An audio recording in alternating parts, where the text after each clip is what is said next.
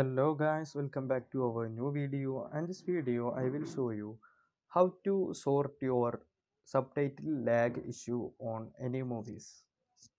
Open your MX player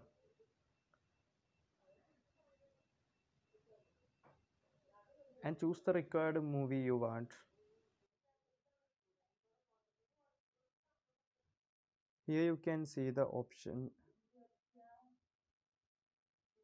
Tap on the three dots on the top right corner.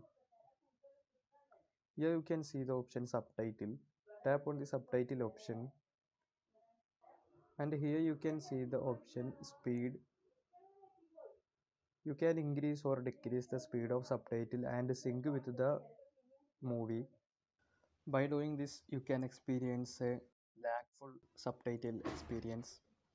If you found this video useful, please do like and subscribe. Thanks for watching.